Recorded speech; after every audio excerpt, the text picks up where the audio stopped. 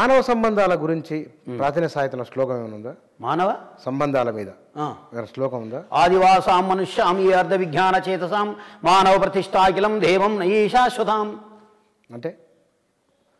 ఈ సమాజం యొక్క సంబంధాలన్నీ మానవ సంబంధాలన్నీ ఆర్థిక సంబంధాలే అన్నాడు మార్క్స్. ఆదివాసాం మనుష్యాం ఏ అర్ధ విజ్ఞాన చేతసాం.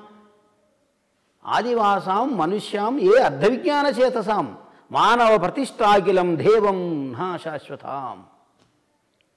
ఈ మానవులందరూ సృష్టించిన ఈ దేవతలు ఈ ఈ ఈ స్టేటస్ ఇది అంతటిది అబద్ధం. ఇది కేవలం ఆర్థిక అవసరాల కోసం మాత్రమే పుట్టింది ఎవరు రాసిండేది ఎవరు రాసింది ఇది ఈ శ్లోకం ఎవరు రాసిరా నువ్వు అడిగిన ఏదైనా శ్లోకం. అదే, మానవ సంబంధాల గురించి చెప్పిన. మార్క్స్ చెప్పిన దానిలాగా సారపు ధర్మమును విమల సత్యమును పాపము చేత బొంకు చేత చెడబారినదైన వ్యవస్థ దక్షిణ వారలు ఉపేక్ష చేసినది వారలకు చేతకు గాని ధర్మనిస్తారకమయ్యు సత్యశుభదాయకమయ్యు దైవముండెడు ఎందుకు లేవు అది ఎవరు? మహాభారతంలోనే ఉంది ఇది. సారపు ధర్మమును విమల సత్యమును పాపము చేత బొంకు చేత చెడబారినదైన వ్యవస్థ దక్షిణ వారలు ఉపేక్ష చేసిరా. అది వారలకు చేతకు గాని ధర్మని సాధకమయ్యు సత్యశుభదాయకమయ్యు దైవముండెడు అరే మంచిని గెలిపించడానికి దేవుడు ఉంటారా కానీ దక్షిణ ఉండి కూడా నువ్వు దాన్ని చేసుకోకపోతే అది నీకే ప్రమాదము అన్నాడు. నీతి సూత్రాలను గౌరవప్రదమైన అంశాలను అన్నిటినీ గౌరవిస్తాం. ఎందుకు గౌరవించడం? స్త్రీలకు స్త్రీల విషయంలో. మన పూర్వీకులు చెప్పిన అంటే ఎట్లా గౌరవించాలి అనే దాని శ్లోకం ఉందా ఏమన్నా? స్త్రీలను ఎత్ర రాజ్యం అది ఉన్నది ఒకటి. ఎక్కడైతే స్త్రీలు సంచరిస్తారో అక్కడే దేవతలు తిరుగులాడుతుంటారు అని చెప్పి గొప్ప మాట కదా అది. అది గొప్ప మాటే. కానీ ఎక్కడ దేవతలు తిరుగుతుంటారో అక్కడ స్త్రీలు అవమానించబడుతున్నారు ఇప్పుడు ఇక్కడ. అదేంది? అదే కదా. ఎట్లా? ఇప్పుడు విధవరాణులు ఇంట్లో నుంచి బయటికి వెళ్ళొద్దు అన్నాడు. అందుకే అంబేద్కర్ విధవరాణులను ప్రధానమంత్రి చేయాలన్నాడు. చేసిండు ఇందిరాగాంధీని. అంబేద్కర్ గారు చేసింది అది. ఆడవాళ్ళు పరిపాలించడానికి అనర్హులు అన్నాడు మమతా బెనర్జీని చేసిండు మాయావతిని చేసిండు ఇక్కడ జయలలిత. జయలలితని చేసిండు.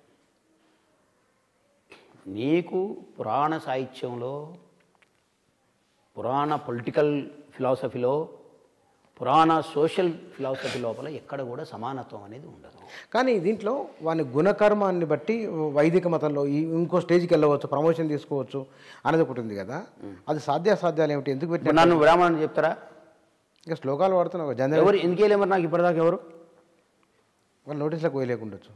సరే నాదంటే పోలేకపోవచ్చు కానీ రోగం మీద చాలా మంది ఉన్నారు. వాళ్ళందరికీ ఎందుకు పోలే? చాలామంది ప్రొఫెసర్లు ఉండరు కదా. లేరా సెంట్రల్ యూనివర్సిటీలో ఉన్న వాళ్ళు ఇంటర్నేషనల్ యూనివర్సిటీల్లో ఉన్న వాళ్ళు చాలామంది ఉన్నారు కదా. మరి వాళ్ళకి ఎందుకు బ్రాహ్మణత్వం ఇస్తలేరు మీరు? ఇప్పుడు నాకు ఒక మాట చెప్పండి. ఈ సమాజంలో ఒక ఎస్సీ ఫ్యామిలీలో ఒక పిల్లాడు పుట్టిండు వాడు చాలా తెలివికల్లాడు. అని ఎస్సీ అంటారా బ్రాహ్మణ్ అంటారా మీరు? సరే మరి ఎందుకంటారు? గుణం తర్వాత కూడా డిసైడ్ చేయాలి. ఇప్పుడు కేసీఆర్ మన అసెంబ్లీలో ప్రకటించాడు. అరే కులం మారుతా అదే అన్నాడు. అంటే కులం మారదు అని డిసైడ్ చేసిండు ఆయన. మరి కులమే మారినప్పుడు గుణంతో కులం ఎట్లొచ్చే కులాలు పోతాయి ఎంతకు? హండ్రెడ్ పర్సెంట్ పోతాయి. ఎట్లా ఎట్లా పోతాయి? ఇప్పుడు నా ఫ్యామిలీలో అన్ని కులాలు ఉండరు. ఇంకొక నెక్స్ట్ తరం వచ్చింది అనుకో కులం అడిగేటోడు ఉండడు ఆడ. ఈ గ్లోబలైజేషన్లో ఒక్కొక్కడు ఒక్కొక్క దేశానికి పోతున్నాడు. ఇంగ్లీషు సంస్కృతం తెలుగు దీనికి ఏం కులం తీసుకొని పోతున్నారు కదా. కులం తీసుకొని పోయారు. ఒక దశ వస్తుంది అది. కానీ యాక్సెప్టెన్స్ ఒకటి వచ్చింది చూడు. యాక్సెస్ వచ్చిందా లేదా? యాక్సెస్ తర్వాత యాక్సెప్టెన్స్ వస్తుంది.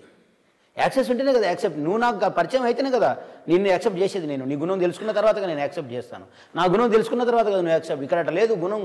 నువ్వు ఏమన్నా నేను ఇంతకుముందు చెప్పినా కదా నేను పుట్టకముందే నా ఇంటి గోడలపైన నిషిద్ధ అక్షరాలు రాయబడ్డాయి.